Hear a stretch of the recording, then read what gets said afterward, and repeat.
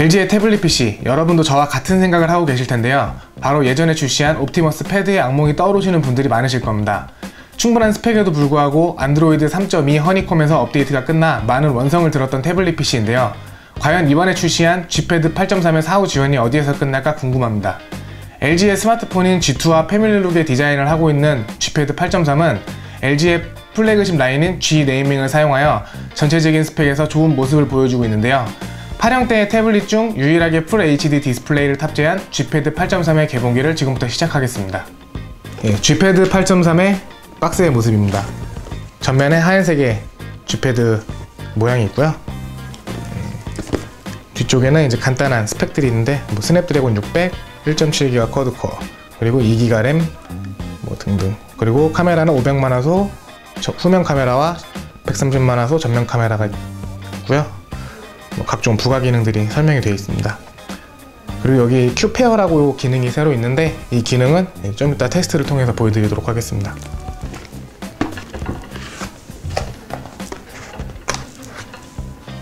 예, G패드 8.3의 모습인데요. LG의 G2와 이제 비슷한 모습을 전체적으로 하고 있습니다. 전면에는 8.3인치 full HD 디스플레이가 탑재되어 있고요. 뭐 전면은 별도의 키는 없고 상단에 전면, 카, 전면 카메라와 그리고 이제 조도 센서가 있습니다. 그리고 옆쪽에 전원 버튼과 이제 볼륨 버튼이 있고요. 뒤쪽에는 이제 이렇게 근데 이제 플라스틱과 가운데 이제 메탈 소재로 보이는 그런 재질로 이렇게 two-tone으로 구성이 되어 있고요. 그리고 이제 스피커가 양쪽에 하나씩 위아래로 있어서 dual 스피커 좀 영화나 그런 게임 같은 거 할 때 조금 더 생생하게 소리를 들으실 수 있을 것 같습니다. 그리고 상단에는 이제 외장 메모리 micro SD 최대 64기가까지 지원을 하는 micro SD 카드 슬롯이 있고요. 그리고 그 옆쪽으로 이제 이어폰 단자가 있습니다. 그리고 500만 화소의 후면 카메라가 있고요. 그리고 G패드는 이제 와이파이 전용 모델로만 출시가 돼서 뭐 셀룰러 모델은 없기 때문에 뭐 유심 슬롯이나 그런 부분은 없습니다.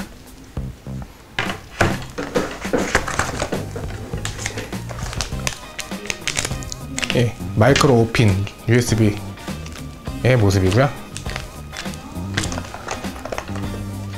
그리고 AC 충전 어댑터입니다.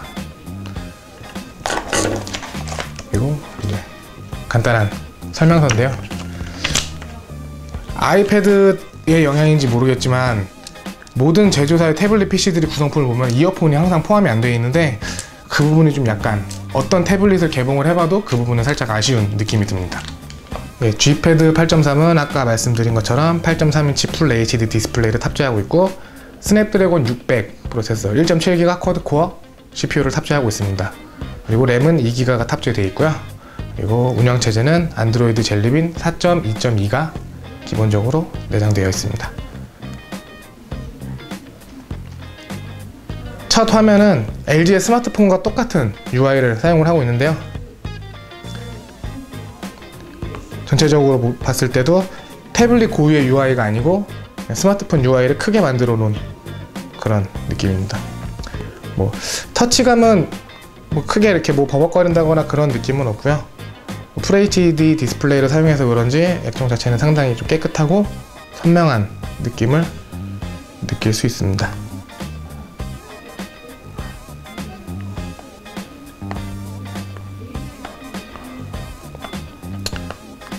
예, 최대로 줌을 당겨도 뭐 텍스트에서 뭐 픽셀이 보인다거나 뭐 그런 현상은 없습니다. 물론 이제 이미지는 해상도의 문제 때문에 당연히 뭐 깨지는 거는 어쩔 수 없는데 텍스트 자체에서는 읽는 데는 크게 무리가 없는 모습을 보실 수 있습니다.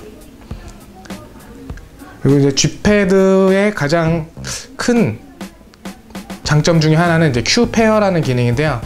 말 그대로 스마트폰하고 이 G패드를 페어링을 시켜서 스마트폰으로 오는 각종 알람, 뭐 예를 들면 전화 수신이나 문자 알람 등 그런 것들을 G Pad에서 바로 확인을 할 수 있는 그런 기능인데요. 뭐 예를 들어 스마트폰을 주머니나 가방 같은 데 넣은 상태에서 이제 뭐 패드로 뭐 책을 읽거나 영상을 볼때그 각종 알람들을 못 받은 경우가 있는데 그럴 때 이쪽으로 그 알람들이 뜨면서 모든 연락이나 알람을 놓치지 않고 다 확인할 수 있는 그런 좋은 기능입니다.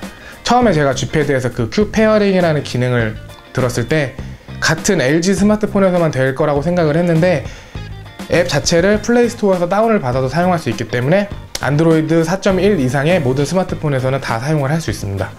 제가 간단하게 어떤 방식으로 진행이 되는지 한번 보여드리겠습니다.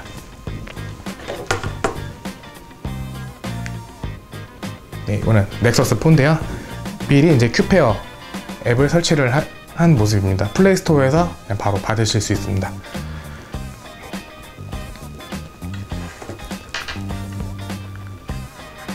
연결을 하게 되면 이렇게 연결됐다는 표시가 뜨고요. 뭐 쪽에 전화 알림, 메시지, SNS, 메모 뭐 등등 알람 바, 자, 받고 싶은 알람만 이렇게 선택을 할 수 있게끔 각종 항목들이 있고요. 제가 이 폰으로 전화를 걸어 보겠습니다.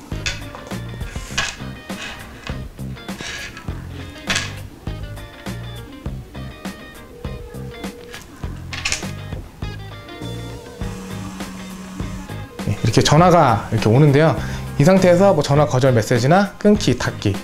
G패드 자체에서 통화 기능을 지원을 하지 않기 때문에 전화 자체는 그냥 알람만 확인할 수 있고요. 이 알람을 확인한 상태에서 스마트폰으로 전화를 받아서 네, 사용하실 수 있습니다. 그리고 이번에 문자 메시지를 한번 보여드리겠습니다.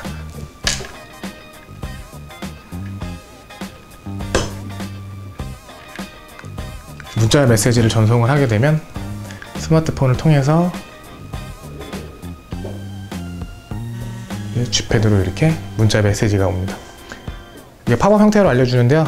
뭐 전화는 이렇게 수발신이 불가능하지만 이제 문자 메시지 같은 경우는 터치를 해서 이렇게 바로 답장을 할 수 있습니다. 해서 전송을 하면 스마트폰을 통해서 바로 이제 스- 원하는 번호로 바로 발신이 가능합니다. LG G패드 8.3의 출고가는 55만 원으로 최근 출시하는 태블릿에 비하면 약간 비싼 가격인데요.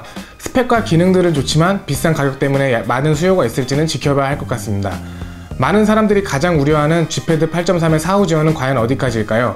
무리한 업데이트로 사용하는데 불편함을 느낄 순 없으니 스펙이 허용하는 한 많은 업데이트가 지속적으로 이루어졌으면 하는 바람입니다. 세티진에서는 G패드 8.3의 자세한 리뷰와 아이패드 미니, 갤럭시 탭 3 8.0과의 비교 리뷰를 준비 중이니 많은 관심 부탁드립니다.